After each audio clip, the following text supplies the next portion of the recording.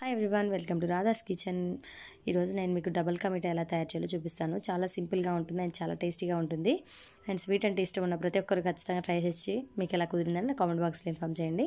So దాన్ని process చేసి చూడడానికి ముందు ఏంటంటే నా వీడియోస్ మీరు ఎవరైనా కొత్తగా చూస్తున్నారు చూస్తున్నారు సబ్స్క్రైబ్ చేయడం అనేది మర్చిపోకండి.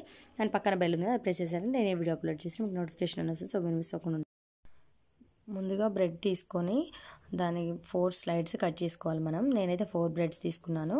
మీరు ఎన్ని చేయాలనుకుంటే అన్ని తీసుకొని వాటి ఎడ్జెస్ మనం కట్ చేసుకోవాలన్నమాట. నేనైతే నార్మల్ బ్రెడ్ ప్యాకెట్ తీసుకున్నాను. మీరు బేకరీలో దొరికే మిల్క్ బ్రెడ్ తీసుకున్నా చాలా బాగా వస్తుంది. అండ్ బ్రెడ్ అయితే మనం ఫ్రెష్ది వాడాలి.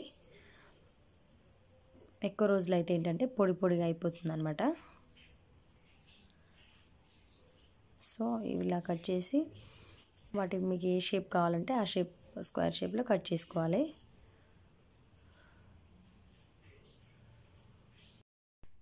చూసారా? మిగతా బ్రెడ్స్ కూడా మనం ఇలాగ కట్ చేసి పెట్టుకోవాలి.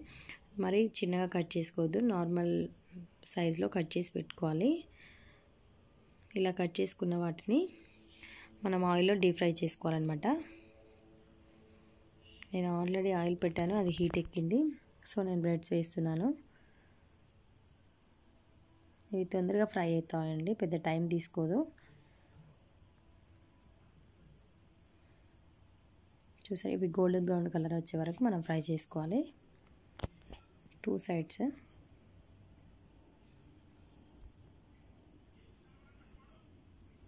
చాలా గట్టిగా అయిపోతాయి ఆయిల్లో వేస్తాం కదా మనం. సో చాలా గట్టిగా అయిపోతాయి. సో ఈ కలర్ వచ్చేసరికి మనం తీసేసుకోవాలి.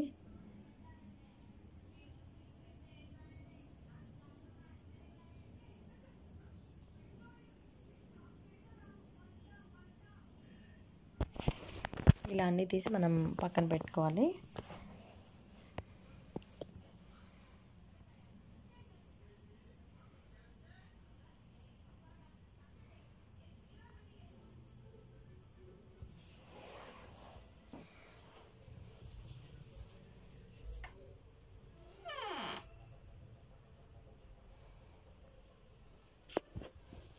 నెక్స్ట్ ఏంటంటే స్టవ్ మీద ఒక ప్యాన్ పెట్టుకొని దాంట్లో మనం మిల్క్ యాడ్ చేసుకోవాలి. నేనైతే పావు లీటర్ మిల్క్ తీసుకున్నాను. అవి చిక్కటి అనమాట ప్యాకెట్ పాలు కాదండి ఇవి డైరీ ఫామ్ పాలు. చిక్కటివి యాడ్ చేసుకోవాలి మనం. యాడ్ చేసుకొని ఇవి బాగా మరిగించుకోవాలి. ఇవి చిక్కటి తీసుకుంటేనే మనకు టేస్ట్ అనేది చాలా బాగా వస్తుంది. సో ఇవి కొంచెం వేడవుతుంటే మనం ఒక హాఫ్ టేబుల్ స్పూన్ నెయ్యి యాడ్ చేసుకోవాలి.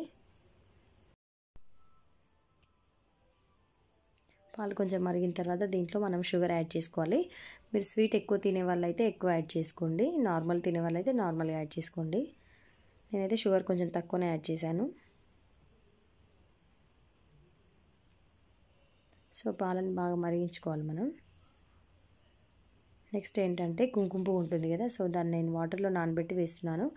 ఇది వేస్తే ఏంటంటే కలర్ కానీ ఫ్లేవర్ కానీ చాలా బాగుంటుంది. ఇది అవైలబుల్ లేని వాళ్ళు ఏంటంటే ఫుడ్ కలర్స్ దొరుకుతాయి బయట.